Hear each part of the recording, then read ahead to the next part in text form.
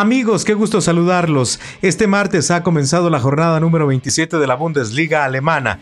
El partido más esperado, el del Borussia Dortmund frente al Bayern de Múnich.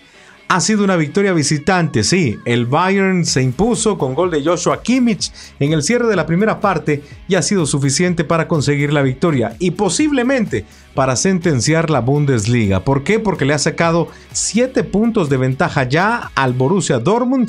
Faltando 6 jornadas, el todopoderoso Bayern no se ve por dónde vaya a flaquear y la verdad es que se ve muy complicado el panorama para los negri amarillos. 1 a 0 ganó el Bayern y prácticamente está sentenciando la Bundesliga. Y cerramos con esta nota triste, llega desde Honduras, se habla del fallecimiento de Roberto el Macho Figueroa.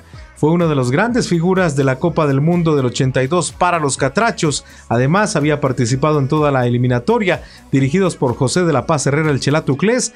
A los 61 años, por complicaciones de salud, ha fallecido Roberto el Macho Figueroa.